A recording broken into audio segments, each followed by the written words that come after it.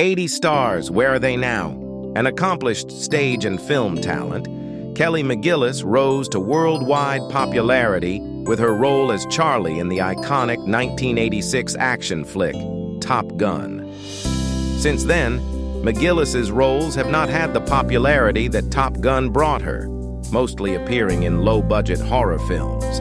It seems likely that McGillis will remain working on TV and stage plays for the foreseeable future, considering she didn't reprise her role in the Top Gun sequel. A reunion between her and Tom Cruise may be a while away.